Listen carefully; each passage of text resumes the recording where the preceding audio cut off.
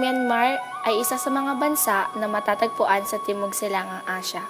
Ito ay may kabuang sukat na 261,970 milya kwadrado. Ito ay kinonsiderang pinakamalaking bansa sa Timog Silangang Asya.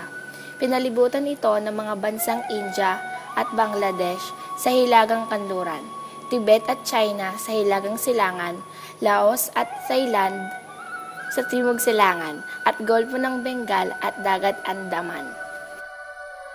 Ang tatlong pinakakilalang dinastiya sa Burma.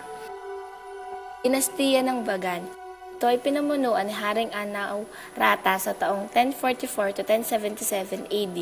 Sa panahon ng dinastiyang Bagan at Khmer ay napasailalim ang halos lahat ng bansa sa Timog Silangang Asya. Ang ikalawang dinastiya ay tinatawag na Taungo sa pamumuno ni Haring Bayin Naong mula 1551 hanggang 1581 AD. Naging importanteng sentro ng kalakalan ang Burma. Ang ikatlong dinastiya ay ang Konbaong. Sa panahong ito, nakaharap na ng mga Burmese ang mga Briton. Dahil sa pag-iinteres nila sa India, si Haring Alungpaya ang namuno sa dinastiyang ito mula 752 hanggang 1760 AD. Noong Enero ng taong 1824, nasakop ng Burma ang Assam, India sa pamumuno ni General Mahabandula. Sa pamamagitan nito, nagkaharap ang mga bansang Burma at Britanya na parehas na may kagustuhan na sakupin ng India. Nagsani Persa ang Britanya at Siam laban sa Burma at naganap ang unang Anglo-Burmese War noong 1824 to 1826. Sa huli ay nagtagumpay ang Britanya at sa pamamagitan ng Treaty of Yandabu, nakuha nila ang Assam, Manipur, Arakan at Tenasserim mula sa Burma. Habang tumatagal ay nagsimula ang kagustuhan na ang kinin ng Britanya ang mga likas na yaman ng Burma at masiguro ang daanan ng mga gamit papuntang Singapore. Dahil dito, nagkaroon ng pangalawang Anglo-Burmese War noong taong 1852. Sa taong ding ito ay nasakop na ang probinsya ng Bago at tinawag itong Timog Burma.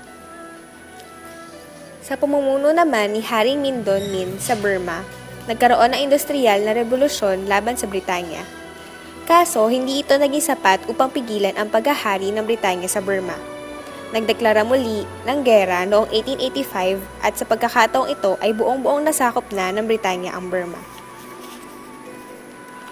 Pagkalipas na isang taon ay naging probinsya na ng India ang bansang Burma. Kahit nakakatapos lang ng digma ang Britanya-Burma ay patuloy na nakipaglaban para sa kalayaan ang mga taga-hilagang Burma. Nagtagal ito hanggang 1890. Dahil sa apat na taong pagmamatigas ng mga taga-Burma, sinira ng mga Briton ang mga tahanan nila at nagtalaga ng mga bagong opisyal upang matigil na ang pagre-revolusyon. Sobrang apektado ang estado ng ekonomiya ng bansa noong nabuksan na ang Suez Canal. Tumaas ang kalakalan ng kanilang bigas at malalaking mga lupain ang nilaan para sa pagtatanim ng palay. Pero ang di patas dito ay persahang nang hiram ng pera ang mga magsasaka sa India para para makuha ang mga bagong lupain para sa pagsasaka na may mataas na interes. Kinalaunan ay wala na silang mahiram na pera at ang nangyari ay ang mga Indian na ang nagtatanim at nagsasaka ng kanilang mga palay sa kanilang lupain. Upang patuloy na mabuhay ay nagnako ang mga taga-Burma Umabot ng taong 1960 na patuloy na pagtaas ng ekonomiya ng Burma sa kamay ng mga Briton at ang mga Indian na lumipat sa Burma. Sino nga ba si Ayong San? Pinanganak si Ayong San noong Pebrero 13, 1915 sa Natmuk, isang bayan sa distrito ng Magwe sa sentro ng Burma. Galing siya sa pamilyang tutol sa pamumuno ng mga Briton. Noong siya ay nag-aaral pa sa kursong English Literature, Modern History, and Political Science sa University of Rangoon, marami siyang sinalihan na organisasyon na laban sa mga Britanya.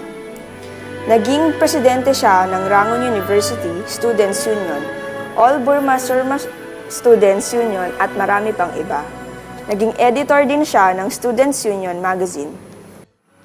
Noong Pebrero 1936, Napatalsik siya sa universidad dahil sa paglathala ng Hellhound at Large, kasama ni Konu, na naging sanhi ng pag-aalsa ng mga estudyante. At At dahil dito, binawi ng gobyerno ang pagpapatalsik sa kanila. Nang matapos siya sa pag-aaral, sumali siya sa Dobama Asi Ayon o We Burmese Organization. Tinawag siyang Thakin Ayungsan at naging General Secretary ng grupo. Ang Thakin ay isang salita sa Burma na ang ibig sabihin ay master. Sinasabi nito na sila ang tunay na pinuno ng kanilang bansa. Noong taong 1939, nagsimula ang World War II. Kasabay nito ang pagtayo ni Ayung San ng Communist Party of Burma at People's Revolutionary Army at Bama Hirtwetya, Guinea. Ang mga organisasyong ito, kasama ang Dobama Asiayon, ay nagsagawa ng mga pag-aalsa. At dahil dito, sila ay napatawa ng warrant of arrest ng British government noong 1940.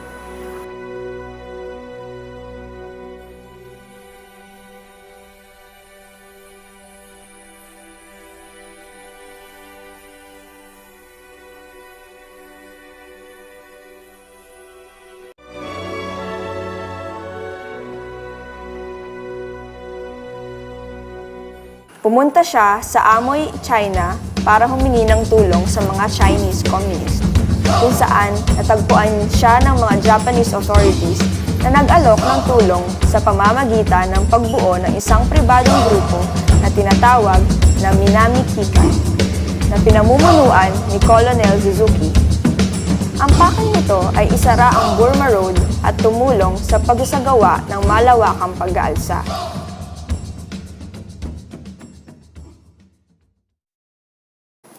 Noong February 1941, bumalik siya sa Burma na may dalang armas at pinansyal na suporta galing sa mga Hapon. Bumalik siya sa Japan kasama ang 29 na mga lalaki upang magsanay sa Hainan Island, China. At sila ay tinawag na 30 comrades. Disyembre ng taong iyon, tinayo ni Ayung San ang Burma Independence Army sa Bangkok. Noong March 1942, sinalakay ng Japan ang army ng Burma.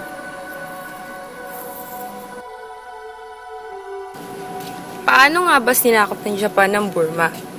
Isang linggo matapos ang pagpapasabog sa Pearl Harbor, pinasabog ng Japan planes ang Tavoy Air Dome na isang British outpost sa Andaman Sea, timog ng Rangoon. Kinabukasan, December 12, 1941, Inumpisahan na ng Japan ang pagsakop sa Burma. At dahil hindi handa ang Imperial British Forces sa Burma, madali itong nasakop ng Japan. Noong March 1942, nabago ang Burmese Independence Army sa Burma Defense Army sa ilalim ng mga Hapon, ngunit si Ayong San pa din ang commander-in-chief nito. Noong taong ding yun, idineklara si Bamao bilang isang prime minister at si Ayong San ay naging isa sa mga gabinete nito. Noong taong 1943, idineklara ng Japan ang Burma bilang isang malayang bansa. Ngunit, ang mga pangako ng Japan na kalayaan ay hindi makatotohanan.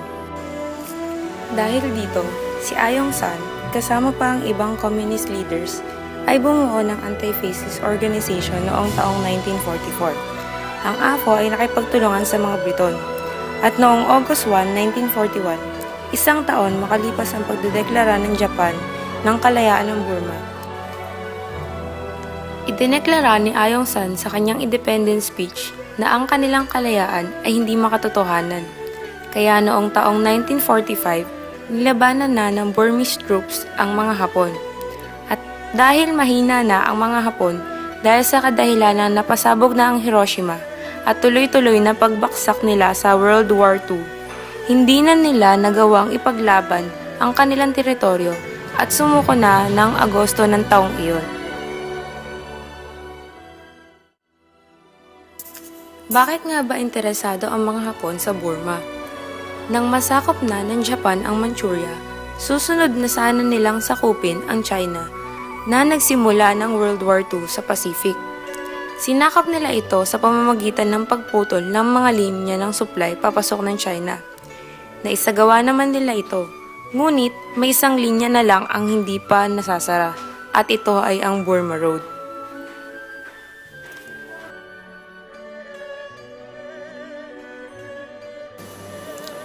Noong mapatalsik ang mga Hapones sa Burma noong Agosto 1947, ang itinatag na Anti-Fascist Organization o AFO ni Aung San ay lumawak at ibinago ang pangalan sa Anti-Fascist People's Freedom League o AFPFL na isa ring Communist Party sa Burma. Ito ay itinatag upang pigilan ang kolonyalismo ng Administrasyong Breton at para makamit ang kalayaan. Ang AFPFL ang nagsilbing negosyador upang hingin ang kalayaan sa mga Breton. Noong ika-27 ng Enero 1947, nagkaroon ng negosyong Aung San Adli Agreement na gumagarantiya ng kalayaan ng Burma sa mga kamay ng Breton. Ang kalayahang ito ay nasabing maibibigay makalipas ang isang taon, ngunit hindi na ito naabutan ni Aung San.